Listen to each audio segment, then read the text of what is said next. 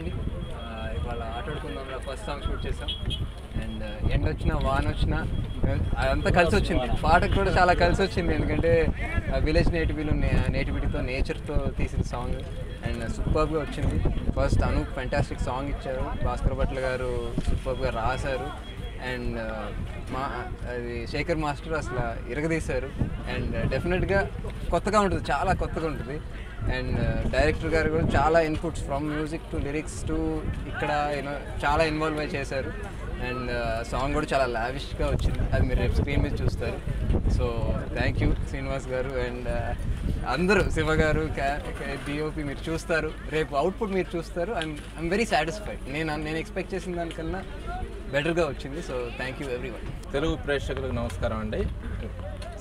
Srinath corporation నుంచి ఆటాడుకుందాం రా నాలుగో సినిమా తయారవుతుంది. ఆల్రెడీ టాకీ మొత్తం కంప్లీట్ అయిపోయింది. పోస్ట్ ప్రొడక్షన్ ఫినిషింగ్లో ఉంది. సాంగ్స్ యాడ్ చేయడమే మిగిలింది. అందులో ఫస్ట్ సాంగ్ ఇప్పుడు అయిపోయింది. అనదర్ టూ సాంగ్స్ అబ్రాడ్లో ఉంటాయి. లాస్ట్ సాంగ్ సెట్ సాంగ్ ఉంటుంది విత్ ఇన్ వన్ మంత్లో సినిమా రిలీజ్కి ప్లాన్ చేస్తున్నాం.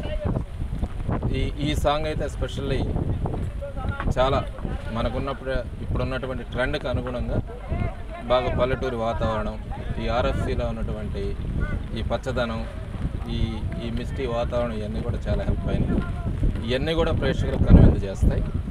డి కెమెరామెన్ కానీ డైరెక్టర్ గారు కానీ శేఖర్ మాస్టర్ గారు కానీ ఎస్పెషల్లీ ఇచ్చిన ఇన్పుట్స్ అల్టిమేట్ ఇన్పుట్స్ తోటి ఈ సినిమా ఈ సినిమాకి ఈ సాంగ్ హెల్ప్ అవుతుంది.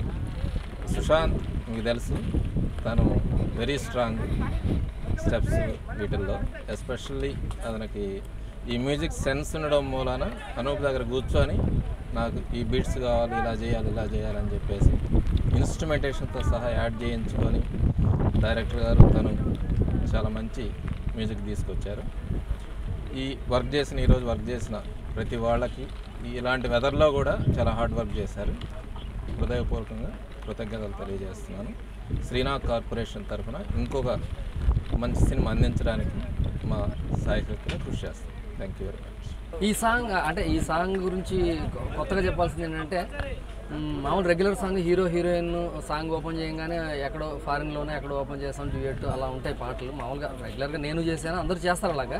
బట్ ఈ సాంగ్ లక్కీగా ఈ కథ ప్రకారం ఏంటంటే ఒక బ్లాక్ అండ్ వైట్లోకి వెళ్ళి ఆ, వాళ్ళ తాతగారి సాంగ్ నుంచి సాంగ్ తీసుకొని ఒక కొత్త లొకేషన్కి వచ్చే సాంగ్ అనమాట సో అది ఆడియన్స్ ఫ్రెష్గా ఫీల్ అవుతారని నేను ఫీల్ అవుతున్నాను. సాంగ్ చెప్పిన తర్వాత ఇమ్మీడియట్గా ఎక్స్ట్రాడినరీగా ఉంది కంటెంట్ అని చెప్పింది అనూపు సో తను చాలా ఇన్వాల్వ్ అయి చేశాడు చాలా బాగా మంచి అవుట్పుట్ ఇచ్చాడనమాట ఆ బ్లాక్ అండ్ వైట్ పల్లెకు పోదాం పారును చూద్దాం అన్న ఫ్లేవర్ నుంచి ఒక ట్రెండీగా తీసుకురావడం అన్నది అనూప్ చాలా ఎక్స్ట్రానరీగా ఇచ్చాడు. తర్వాత శేఖర్ మాస్టర్ తను ఎక్స్ట్రానరీగా కంపోజ్ చేస్తున్నాడు చాలా పాటలు. ఈ పాట అదే హీరో గారు అన్నట్టుగా స్క్రీన్ పైన చూస్తారు. చాలా ఎక్స్ట్రానరీగా కంపోజ్ చేశాడు శేఖర్.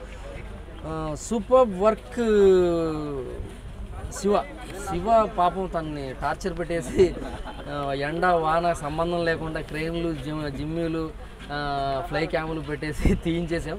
బట్ అవుట్పుట్ ఎక్స్ట్రాడినరీగా వచ్చింది. హండ్రెడ్ పర్సెంట్ ఈ సినిమాలో సాంగ్ ఇది హైలైట్ అవుద్ది. ఈ సాంగ్ గురించి మాట్లాడుకుంటారు థ్యాంక్ యూ వెరీ మచ్